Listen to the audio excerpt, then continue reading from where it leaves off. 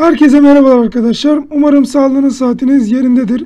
Bugün sizlerle birlikte yeni açıklanan bilançoların analizini elimden geldiği kadar yapmaya çalışacağım arkadaşlar. Bildiğiniz gibi birkaç gün önce artık yeni bilançolar açıklanmaya başlandı. Ve de ben Halkbank Scorecard e, uygulaması üzerinde yer alan bütün hisselerin bilançolarını yorumlayacağım arkadaşlar bilginiz olsun. Şimdi arkadaşlar açıklanan bilançoların ilki yani 5 tane açıklanmış. Ben hangi yer olduğunu söyleyeyim sizlere. Asus var. Daha sonrasında ise EUYO, EUKYO, Etihad ve de pardon Kalekim ve de Osman arkadaşlar. Bu 6 tane hissenin bilançolarını sizlere yorumlayacağım. Şimdi arkadaşlar ilk olarak Asus'un yorumuyla başlayalım. Şimdi satışlarına bakarsak arkadaşlar çeyrek bazlı 272 milyondan 611 milyona gelmiş. Buradan 1 puanı veriyoruz. Favio'ya bakarsak 30 milyondan 64 milyona çıkmış. Buradan 1 puan olarak toplamda 2 puan. Şimdi arkadaşlar net kâra bakarsak da net kar eksi 4'ten 17 milyona yükselmiş. Buradan 1 puan daha alarak 3 puana yükseldi arkadaşlar. Şimdilik bilanço. E, net borca bakarsak bir çeyrek öncesine göre net borcunu azaltmış. Buradan da 1 puan daha veriyoruz. Toplamda 4 puanı vermiş olduk. Öz kaynaklarını da yine bir önceki çeyreğe göre artırdığı için buradan 1 puan daha veriyoruz. Buradan toplamda 5 puanı verdik. Şimdi arkadaşlar kaldıraç oranına bakacağız. Kaldıraç oranı da eğer e, azalttıysa bir çeyrek öncesine göre buradan 1 puan daha vereceğiz. Şimdi arkadaşlar hemen kaldıraç oranını hesaplayalım. 597 bölü 2071 Evet öz kaynak bölü aktif oranı %28 hatta %29 civarında. 615 bölü 2279 yaparsak da %26 civarına düşürmüş arkadaşlar. Burada maalesef puan veremiyoruz. Şu ana kadar toplamda 5 puanı vermiş olduk. Bir de arkadaşlar bilançodan bağımsız olarak şunu söylemek istiyorum. Öz kaynak ilerleyişine bakarsak bakın 4 senelik Asus'un 628 milyondan 615 milyona bir iniş var. Yani istikrarsız olduğunu söylemek istiyorum. Şimdi arkadaşlar piyasa çarpanlarına göre hemen değerlendirmesini yapalım. Asus'u baktığımız zaman e, otomotiv sektöründe yer alan bir hisse. E, ve de arkadaşlar öz e, konuşamadım arkadaşlar kusura bakmayın. Öz sermaye bakacağız. Öz sermaye yani 2.44 16.67'den çok e, düşük bir öz sermaye karlılığı olduğunu söyleyelim.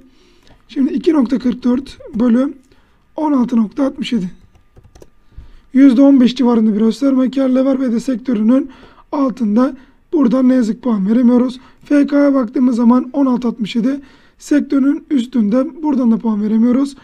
PD bölü de 2.44 buradan da evet buradan bir puan alıyor arkadaşlar. E, toplamda 6 puan oldu.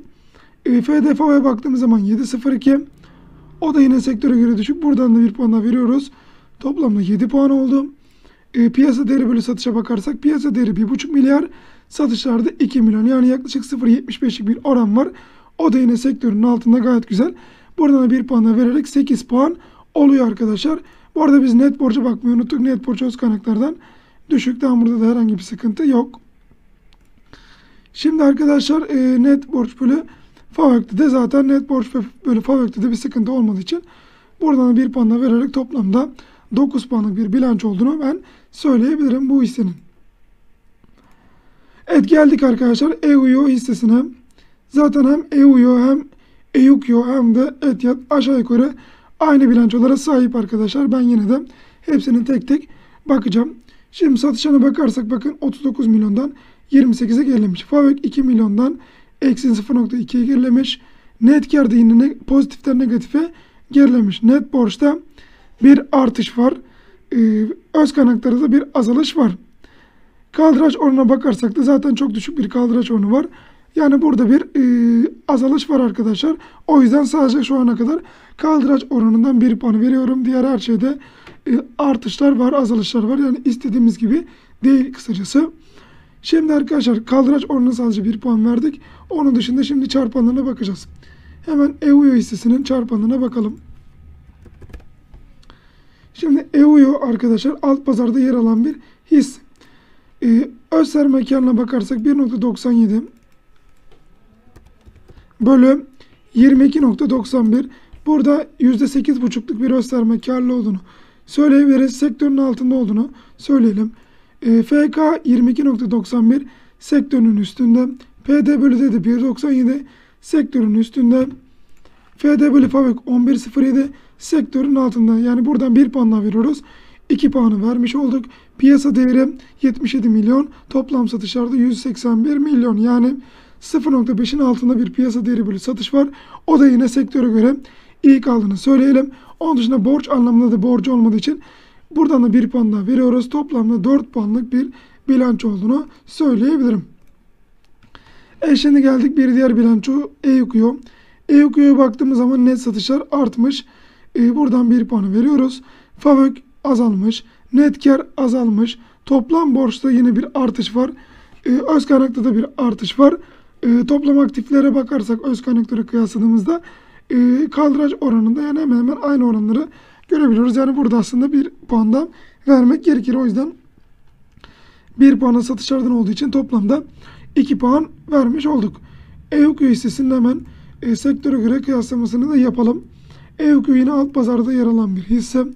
Öz sermaye yine çok çok düşük. Hemen yine hesaplayalım. 2.35 bölü 28.18 baktığımız zaman e, 100 e, yanlış hesaplamışız. 2.35 bölü 28.18 Evet %8.3'lük bir sermaye karlılığı var. Sektörün altında olduğunu söyleyelim.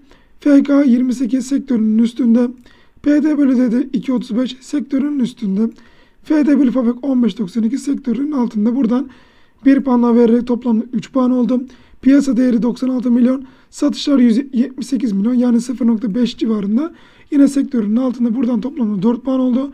E, borç anlamında bir sıkıntısı olmadığı için toplamda 5 puanın bir bilançosu olduğunu söyleyebiliriz. E şimdi geldik bir diğer isimiz Etihad. Etihad'a bakarsak satışlar azalmış, Favök azalmış, net kar azalmış, borç artmış, öz kaynaklar azalmış, kaldıraç oranı azalmış. Buradan sadece bir puan verebiliyoruz. Kaldıraç oranı azalttığı için şimdi yine sektörüne göre değerlendirmesini yapalım. Etihad da yine alt pazarda yer alan bir hissemiz. Şimdi öz sermaye karına bakarsak o da yine %8 civarında çıkacaktır. 1.76 böyle 22.44 %7.8'lik bir öz sermaye karlılığı olduğunu söyleyebiliriz. Sektörünün altında FK 22.44 sektörünün üstünde PD bölü de 1.76 sektörünün üstünde FD bölü FAVÖK 9.63 sektörünün altında buradan 1 puan veriyoruz. Toplamda 2 puan verdik. Piyasa değeri 67 milyon. Satışlar 173 milyon.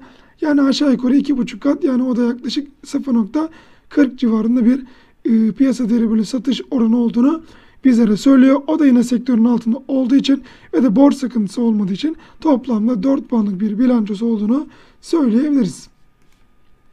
Şimdi geldik arkadaşlar bir diğer bilanço Kalekim. Kalekim'e bakarsak satışlar artmış. 1 puan veriyoruz. Arkadaşlar satışlar artmış derken bakın 2020'nin 3. çeyreğiyle 2021'in 3. çeyreğini kıyaslıyorum bilginiz olsun. Favök yine bir artış var 2 puan. Net karda yine bir artış var 3 puan. Borçta bir azalış var. Bu arada borç ve öz kaynaklarda çeyreksel bazlı bakıyorum arkadaşlar yine bilginiz olsun. Net borç azalmış. Buradan 1 puanla 4 puan. Öz kaynaklar artmış 5 puan. Kaldıraç oranına bakalım. 481 bölüm 764 yüzde 63 civarında bir öz kaynak bölü aktif oranı var. 526 bölüm 803 yaparsak da yüzde 65,5 civarında bir öz kaynak bölü aktif oranı var. Yani kaldıraç oranını azaltmış arkadaşlar. Bu yüzden buradan da bir puanla vererek toplamda 6 puan vermiş. Daha doğrusu skor kartına göre 6 puan verdik. Şimdi bir de çarpanlarına göre puanlarını verelim ve toplam puanını oluşturalım. Kalekim cam ve seramik sektöründe yer alan bir hissemiz öz karına bakalım. 3.06 bölüm 11.75 %26'lık bir öz sermaye var arkadaşlar. Toplamda 6 puan vermiştik. Sektörün üstünde ve de piyasanın üstünde bir öz sermaye karlılığı olduğu için toplamda 2 puanlık bir e, puan buradan veriyoruz arkadaşlar. Yani 8 puan. Burada arkadaşlar niye 2 puan verdim hemen söyleyeyim. Şimdi arkadaşlar politika faizimiz 18 ve de enflasyon oranımız %19.25. Şimdi enflasyon yüksek olduğu için onu baz almak daha mantıklı. O yüzden %19.25'in üstünde olan her öz sermaye karlılığı bizim için iyidir arkadaşlar. Ve de arkadaşlar sektörün üstündeyse yine iyidir. O yüzden ikisine göre baktığımız zaman 2 puanı vermiş olduk. Yani 2 puanla vererek 8 puanlık bir bilançosu olduğunu söyleyebiliriz. Şimdi FK'ya bakacak olursak 11.75 sektörünün altında buradan 1 puan daha 9 puan. PD bölü D 3.06 sektörün altında 10 puan oldu. FD bölü FAVÖK 9.75 sektörün altında 11 puan oldu. Piyasa değerimiz 1.6 milyar satışlarda 711 milyon. Şimdi 1608 bölü 711 yaparsak 2.26'lık bir oran çıkacaktır. O da yine sektörün altında arkadaşlar. Toplamda 12 puan oldu. Borç anlamında da net borcun negatif olduğu için hiçbir sıkıntı görmüyorum. 13 puan yani arkadaşlar bu hissede e, bu son bilanço gerçekten 4 dörtlük gelmiş yani. E, hiç puan kırmadım yani bilançodan. 13 puan aldı. 13 puan gerçekten de zaten her şeyini puanladık ve her şeyle de gerçekten iyi bir bilançosu olduğunu söyleyebilirim. Ve arkadaşlar şunu da belirtmek istiyorum. Kalekim hissesi halka arzdan beri çok fazla fiyatlanmadı. Penta da yine aynı bu şekilde fiyatlanmadan ilerlemişti ve daha sonrasında neler olduğunu gördük. Yine aynı şekilde Kalekim hissesinde de gerçekten de güzel fiyatlanmalar gelmediği için hala e, bir alım fırsatı veriyor olabilir arkadaşlar. Tabii ki de bu sizin tercihiniz. Ben sadece yorumu belirtiyorum. E, burada alım yapmak, satım yapmak tamamıyla sizin özgür iradeniz. Ama gerçekten bilançosu çok iyi. Bunu da belirtmeden geçemeyeceğim. Evet arkadaşlar geldik son bilançomuza. Osmanlı menkulün satışları 000. Favo'ya bakarsak pozitiften negatif azalmış. Net kar çeyreksel bazda yine azalmış. Net borç artmış. Öz kaynaklar artmış. Buradan 1 puanı veriyoruz. Bakın öz kaynak artmış. Aktifler azalmış. Bu ne demek oluyor? Kaldıraç oranı azalmış demek. Buradan 1 puan da veriyoruz. Şimdi hemen öz sermaye karını hesaplayalım ve de sektöre göre bakalım. Şu ana kadar 2 puanı vermiş olduk. 3.23 bölü 6.95 %46,5'luk bir öz sermaye karlılığı olduğunu söyleyebiliriz. Osman e, baktığımız zaman e, Osman niye çıkmıyor? Evet, en son alt pazarda yer alan birisiydi ama alt pazara bakalım tekrardan Osman çıkacak mı? Evet Osman çıkmıyorsa o zaman biz de e, neye bakarız arkadaşlar? Şu info yazalım. Info'nun sektörüne bakarsak evet zaten menkul değerler sektöründe yer aldığını söyleyebiliriz. Osman hissesinin bakın zaten işmen o da yine bu sektörde. Bu sektöre göre değerlendirecek olursak şimdi e, zaten hissenin FAVÖK ve satışlarda e, sıkıntıları olduğunu yani baktığımız zaman negatif. Yani satışlar zaten yok. O yüzden e, burada öz sermaye karına bakacak olursak bakın %46.4'tü sektörüne göre düşük kaldığını söyleyelim bir miktar da olsa ama piyasaya göre güzel. O yüzden buradan yine de 1 puanı veriyoruz. Yani toplamda 3 puan. E, FK'ya bakarsak FK 6.95 sektörün altında pardon sektörün üstünde arkadaşlar özür dilerim. PD bölü DD'ye bakarsak 3.23 o da yine sektörünün üstünde. Yani bu bilançoya toplamda 3 puan verebiliyoruz. FDF'ye bakarsak arkadaşlar 8.55 gözüküyor ama yani ziraatte yazmadığı için ne yazık ki burada değerlendiremiyoruz. Ee, burada değerlendiremediğimiz için de aslında burada FD Fabrik olması bile iyi bir şey yani. Ama tabii Fabrik negatif olduğu için de burada aslında bir kuşkular oluşmuyor değil yani. Son bakın bilanço negatif. Tabii ki de bazı bilançolar kötü gelebilir. Her bilanço e, iyi gelecek diye bir kaydı yok. Ve bazı bilançolar kötü gelse bile hissenin kötü olacağı anlamına gelmiyor arkadaşlar. Bunu da belirtmiş olalım. Evet Osman'ın bilançosuna 3 puan verdik. FD Fabrik ve piyasa değeri bölü satış e, buralarda e, sıkıntılar var. Yani en azından ziraate göre değerlendiremiyoruz ama borç anlamına bakacak olursak net borç negatif olduğu için e, sektöre göre borç sıkıntısı olmadığını söyleyebiliriz çok rahat bir şekilde. Buradan da bir puan daha ben vermek istiyorum. Toplamda 4 puanlık bir bilançosu olduğunu söyleyebiliriz. Evet arkadaşlar bu bilanço analizi videomuzun sonuna geldik. Umarım video hoşunuza gitmiştir. Videoyu beğenip kanala abone olarak bize destek olabilirsiniz. Kendinize iyi bakın diyorum. Hepinize bol kazançlar diliyorum.